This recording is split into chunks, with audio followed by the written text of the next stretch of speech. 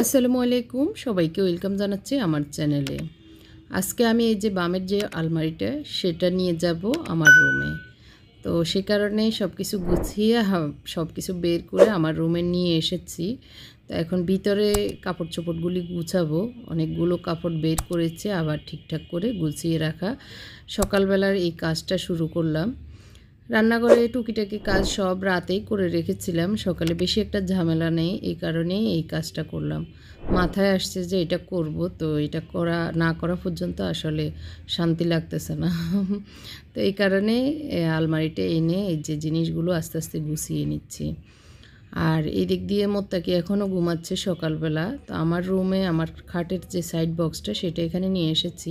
আর ওদের যে জামা কাপড়গুলো সেটা সাইড বক্সে কিছু রাখব আর কিছু একটা র্যাক আছে সেটাতে রাখব চিন্তা করেছি আর কি। তো ওগুলো গুছাবো এখনও ওইভাবে রেখে মোত্তাকি যেহেতু ঘুমাচ্ছে আর একটু ঘুমাক। ওর ডিস্টার্ব হবে। আর এদিক দিয়ে আমি রান্নাগুলো এগিয়ে নিই। সকালবেলা আমি জানেনি আপনারা রান্না করে ফেলি। তো আজকে রুটি বানাবো না, রান্নাটা করে ফেলতেছি। খোলা পিঠা বানাবো এটা প্ল্যান করে। তো খোলা পিঠা বানিয়ে বানানো তো যখন খাব গরম গরম সবাইকে বানিয়ে দিব, যে যখন খাবে আর কি। তো তার আগ দিয়ে রান্না করে ফেলতেছি আর ভাজি করব, পাতাকপি ভাজি খোলা পিঠা দিয়ে খাওয়া, খাওয়ার জন্য আর কি। আর এদিক দিয়ে আমি মাছ ভেজে নিচ্ছি। এগুলো হচ্ছে পাবদা মাছ, আইড মাছ সহ মিক্স একটা মাছ আর কি, ছোটো মাছ। এগুলি দিয়ে একটা সবজি রান্না করব এই কারণে। আর মুরগির গোস্ত বসিয়ে দিচ্ছি পাশের চুলায়।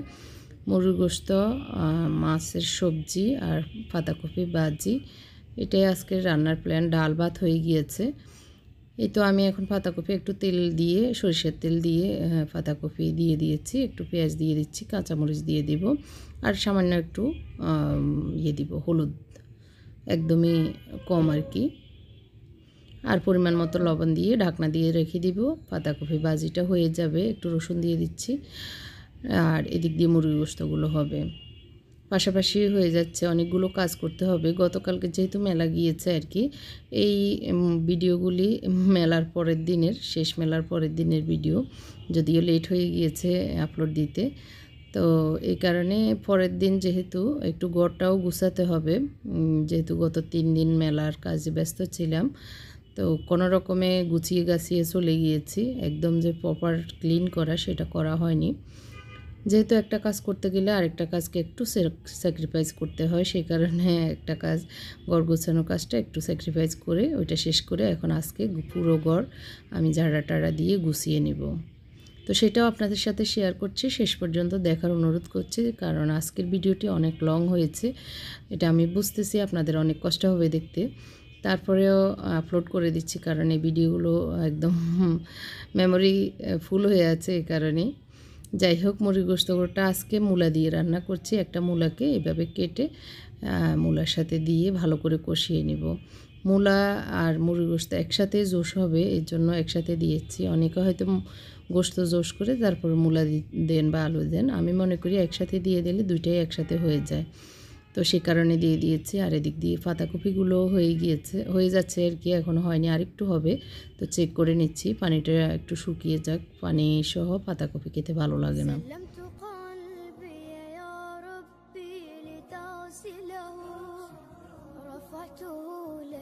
তো এই দিক দিয়ে আমি আজকে একটু ইয়ের সাথে পিঠার সাথে যে সাগুদানা সেটা একটু দুধ দিয়ে গরুর দুধ দিয়ে রান্না করব।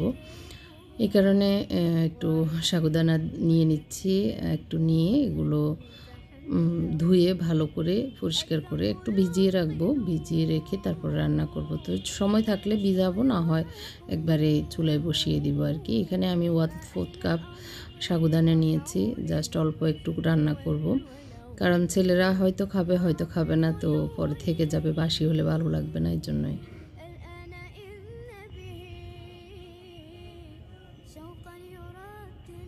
এই তো পাতা কপিগুলি হয়ে গিয়েছে, এখন আমি ধনিয়া পাতা দিয়ে পাতা কপিগুলি নামিয়ে নেব। দুধ বসিয়ে দিয়েছি, এখানে আধা লিটার দুধ, তো একটা তেজপাতা, একটা দারচিনি টুকরা আর হচ্ছে দুইটা এলাচ দিয়ে দিব। আর একটু লবণ দিয়েছি, আর সাগুদানাগুলো ধুয়ে রেখেছিলাম, সেগুলোও দিয়ে দিয়েছি একসাথে। একসাথে হতে থাকবে, এদিক দিয়ে আমি একটু চাউলের গুঁড়ো দিয়ে আটাটা করে নিচ্ছি আর কি। এখানে তিন কাপ নিয়েছি আর দিয়ে দিচ্ছি পানি। পানিটা আসলে চেক করে করে দিতে হবে। প্রথমে আমি দুই কাপ দিয়ে দিচ্ছি। দিয়ে নেড়ে চেড়ে দেখি কেমন আরও লাগবে কি না তো দেখতেছি আরও তো অনেক লাগবে আরও এক কাপ লাগবে হয়তো। দেখি আর একবার নেড়ে চেড়ে। তো আমি হাঁসের ডিম দিয়ে খোলা পিঠাটা বানাবো আজকে। খোলা চা আমাদের নোয়াখালীতে বলে খোলা চা পিঠা বানাবো। লবণ দিয়ে দিয়েছি পরিমাণ মতো আজকে একটু ধনিয়া পাতা আর কাঁচামরিচ দিয়ে পিঠাগুলি বানাবো। সেই কারণে ধনিয়া পাতা আর কাঁচামরিচ দিয়ে দিচ্ছি।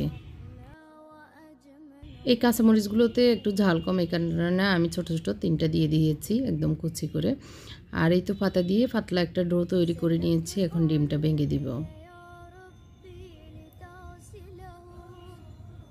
জাল মিষ্টি যে কোনো কিছু দিয়ে মানে ধনিয়া পাতা, কাঁচামরিচের এই খোলা যা পিঠাটা খেতে ভালোই লাগে। এদিক দিয়ে সাগুদানাগুলো ভালো করে ফুটে যে মোটামুটি শুকিয়ে এসছে এই পর্যায়ে আমি দিয়ে দিয়েছি চিনি। পরিমাণ মতো চিনিটা যার যার রুচি অনুসারে, আমি আমার রুচি অনুসারে দিয়েছি আর কি। মুরগি গোস্ততে পানি দিয়ে দিয়েছি, ওটা হতে থাকুক। আর আমি একটু আজকে মূলা দিয়ে যেহেতু রান্না করছি, একটু জল জল করে রান্না করব, কারণ খোলা পিঠা দিয়ে ওরা খাবে জল দিয়ে। এই কারণে। তো শাকু শাকুগুলো হয়ে গিয়েছিল। এখন আমি পাতিল বসিয়েছি। একটু সবজি রান্না করব, মাটির পাতিলটা। মুরগি গোস্তগুলো একটু চেক করে নিচ্ছি। একটু লবণ লাগবে, সেই কারণে একটু লবণ দিয়ে দিয়েছি। সর্ষের তেল দিয়ে এখন পেঁয়াজ দিয়ে দিচ্ছি, কাঁচামরিচ দিয়ে দিচ্ছি, সবজি রান্নার জন্য দিয়ে দিচ্ছি রসুন। একটু আদাও দিয়ে দিচ্ছি। একটু আদা দিলে কি হয় মানে একদম তাড়াতাড়ি সবজি হয়ে যায়, বেশি সময় লাগে না জটফট হয়ে যায় জন্য একটু আদা দিয়ে দিচ্ছি। আর দিয়ে দিচ্ছে, আমার কাছে যেহেতু কারি পাতা গাছ আছে, সে কারণে একটা কারি পাতা গাছের ডাটা এনে পাতাগুলি দিয়ে দিয়েছি। আর একটা টমেটো দিয়ে দিচ্ছি।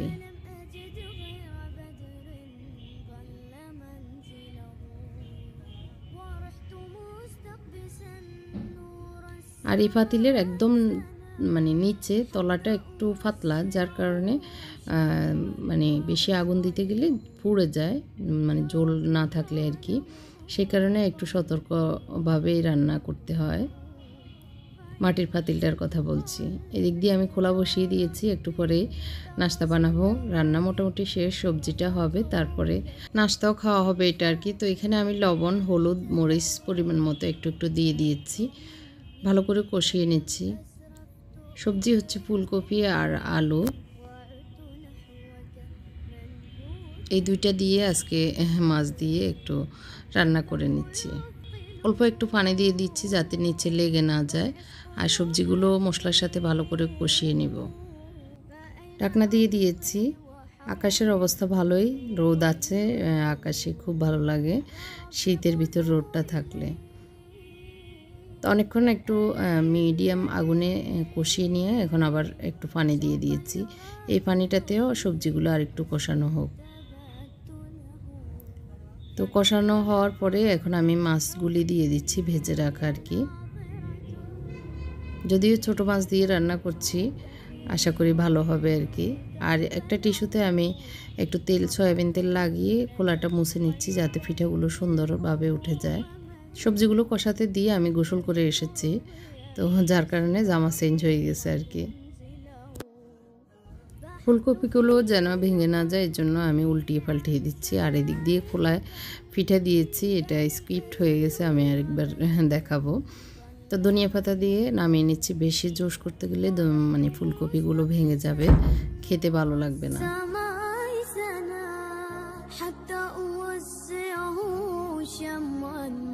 وأشعله يا رب تعلم ما খোলা পিঠা বানানোর একটা বড় ইম্পর্টেন্ট দিক হচ্ছে খোলাতে দেওয়ার আগে এই ডোগুলোকে ভালো করে নেড়ে চেড়ে আবার প্রথম থেকে নিতে হয় যদি ডোটা নাড়ানাড়ি করে দিয়ে দিই তাহলে কিন্তু পাতলা পানির মতোটাও হবে তখন খোলা পিঠা ভালো হবে না এর জন্য ভালোভাবে ডোটা আম, মানে নেড়ে চেড়ে নিতে হয় যারা আমরা নোয়াখালীর মানুষ, তারা কিন্তু এই পিঠা বানানোতে মোটামুটি সবাই পারদর্শী।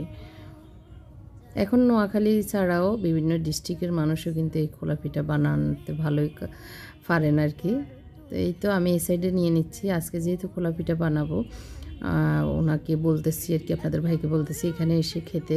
তাহলে গরম গরম দিব আর আমার দৌড়াদৌড়ি হবে না ডাইনিং টেবিলের রান্নাঘরে। এখানে হলে একবারে আমিও খাব, ওনাকেও দিব। আর খুব সুন্দরভাবে পিঠাগুলো উঠে যাচ্ছে দেখতে পাচ্ছেন।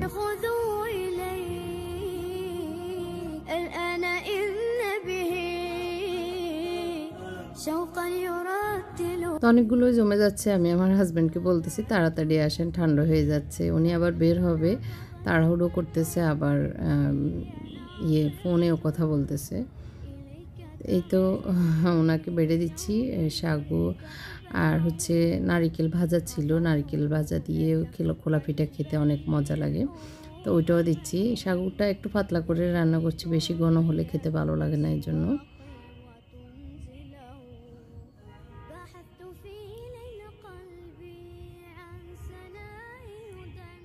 তো উনি না বেটে দেওয়ার আগে মুখে দিয়ে দিচ্ছে। এসে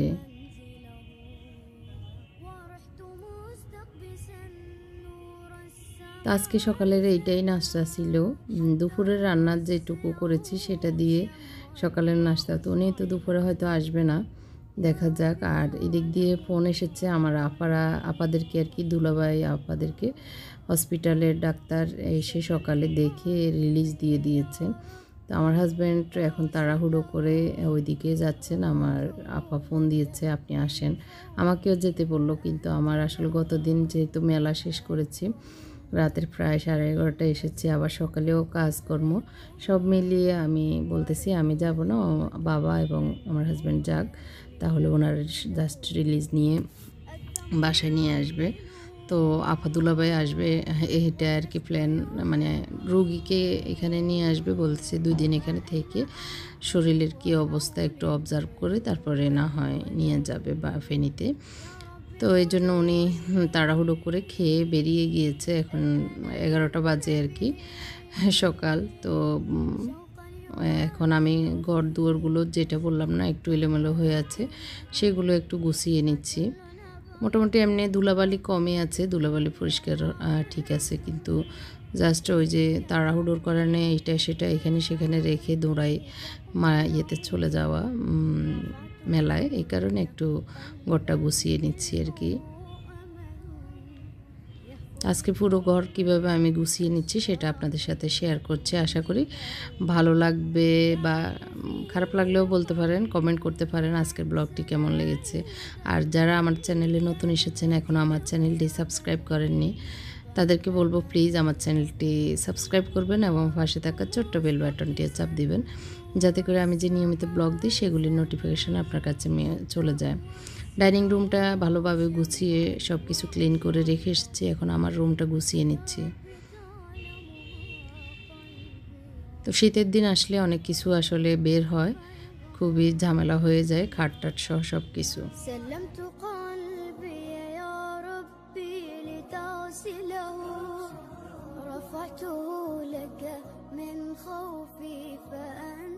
আজকে সকালে আসলে জামালা হয়েছে, আলমারি চেঞ্জ করা মানে রুম থেকে ওই রুমে নেওয়া, তো সেগুলি আবার গুছানো, সব মিলিয়ে মানে হজবরল সকাল থেকে অনেক কাজই করতেছি আসলে, একদম ফ্রেশান হয়ে যাচ্ছি কাজ করতে করতে। তো রান্না যেহেতু শেষ হয়েছে, এখন ঘর গুছাতে আর বেশি সময় লাগবে না, ঘর গুছিয়ে দিলে আমার যে কাজের মেয়েটা, ও আসবে, আসলে ঘর ঝাড়ু দিয়ে ঘর মুছে নেবে। তো এখন চলে এসেছে আমার বড় রুম, বড় ছেলের রুমে। ওর রুমটাও গুছিয়ে নিচ্ছি, ওরা উঠে চলে গেছে যার যার কাজে।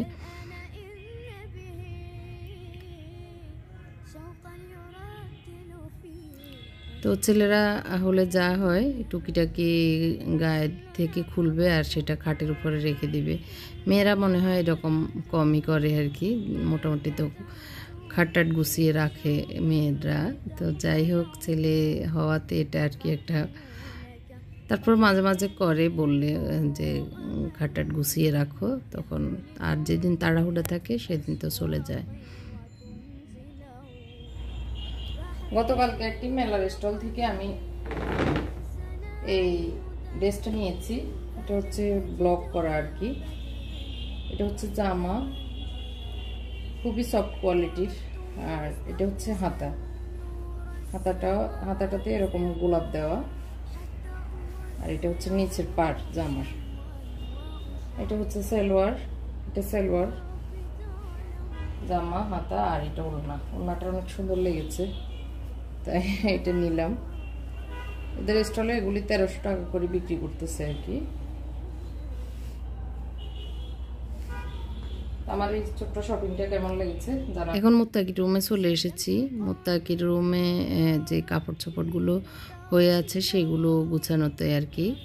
তো ওদের দুইজনের অনেকগুলো কাপড় শীতের এবং গরমের সব মিলিয়ে আমি একটু কীভাবে করব প্রথমে চিন্তা করেছি। তারপরে যে সাইড বক্সটা সেটা তিনটা ডয়ার সেটা ঘুরিয়ে খাটের দিকেই করে নিয়েছি, করে এখন চিন্তা করতেছি উপরের ডয়ারটাতে হাফ হাতার যে শার্টগুলি সেগুলি রেখে দিব, মাঝখানে গরম গেঞ্জি, শার্ট এগুলি রাখব আর নিচেরটাতে প্যান্ট রাখব। দেখা যাক কতটুকু হয়, এগুলি হচ্ছে গরম মানে হাফ হাতার শার্ট আর কি গরমের দিনের। এখন মাঝখানেরটাতে পাঞ্জাবি, তারপর শার্ট ফুলাতার গেঞ্জি এগুলো রেখে দিচ্ছি। এই তো মোটামুটি গুছিয়ে নিয়েছি। অনেক সময় লেগেছে এটা করতে। আর যেটা গায়ে দিবে না সেটা মানে কাউকে দেওয়ার জন্য ওইটা আলাদা করে নিয়েছি।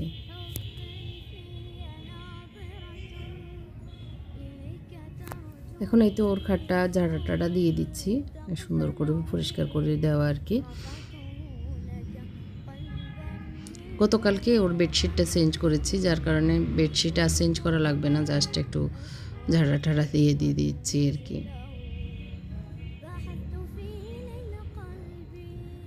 তো মেলার পরের দিন আসলে অনেকগুলো কাজ, গত তিন দিনও মেলা, সকাল থেকে একদম রাত এগারোটা পর্যন্ত ওখানে অনেক সময়, অনেক কাজ করতে হয়েছে। সব মিলিয়ে আর কি, এই তো জীবনটা এইভাবেই যুদ্ধক্ষেত্র আর কি জীবনটা। এটাকে যদি আমরা ভালোভাবে উপলব্ধি করি, কাজে লাগাই, ভালোই হয়। আর যদি কোনো রকমে কোনো রকমে জিন্দিগি কাটাই সেটা তো আরেক রকম জিন্দিগি আর কি। যাই হোক, এই তো এখন ড্রয়িং রুমে চলে এসেছি। ড্রয়িং রুমটা একটু অগোছানো আছে, সেটাও গুছিয়ে নিচ্ছি। আর গতকালকে রাতে যে কার্টুনগুলো মেলা থেকে গুছিয়ে এনেছি, তো এইটাও একটু ড্রয়িং রুমে আছে একটা, ওইটাও নিয়ে যাব। আর আহ, যে রুমে এনে রেখেছি সে রুমটা একটু মানে এই কার্টুন টাটন সহ একটু গুছিয়ে নেওয়া ওইটাও করতে হবে। তো ড্রয়িং রুমটা গুছানোর পরে কিন্তু ঘর গুছানো মোটামুটি শেষ রান্নাঘরটা গুছানো আছে ওটা আর বেশি সমস্যা নেই। তো এখন রুগীরা আসবে দেখি দুপুরে কোনো রকমে খাব আর রাতে কিছু করব এটাই চিন্তা করতেছি। আজকে যে রুগীরা আসবে, এটা আসলে মাথায় ছিল না। তো যাই হোক, রান্না যেহেতু করে ফেলছি, কোনো রকমের যেটা রান্না করেছি সেটা দিয়ে চলবে। এই তো ড্রয়িং রুমটা একটু এলোমেলোটা গুছিয়ে এখন আমি আমার ভিডিও আপলোড দেওয়ার কাজে একটু কাজ করব এডিটের কাজ আর কি।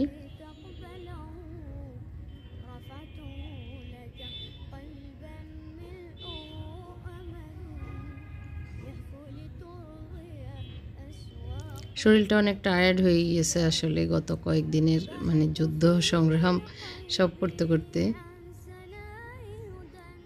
তা আসলে নিজে যেটাই করে কষ্ট হলেও নিজে কিছু করতে পারলে নিজের মানে ইনকামের যদি পথ খুলে, তখন যত কষ্টই হোক সেটা আর কষ্ট লাগে না। অনেক আনন্দ নিয়ে এনার্জি নিয়ে কাজ করতে ভালো লাগে আর কি।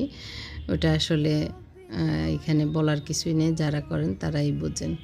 তো যেগুলি ধোয়া ধোয়া লাগবে, কাপড় সেগুলো ঝুড়িতে এনে রেখে দিচ্ছি, এই যে কিছু এনে রেখেছিল ছেলেরা, ওটা ঝুড়িতে এখন ঢুকিয়ে রেখে দিচ্ছি।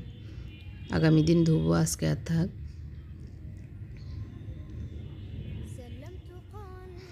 আমার ব্লগটি এখানে শেষ করছি। কেমন লেগেছে আপনাদের কাছে কমেন্ট করে জানাবেন। আল্লাহ হাফেজ, আসসালামু আলাইকুম।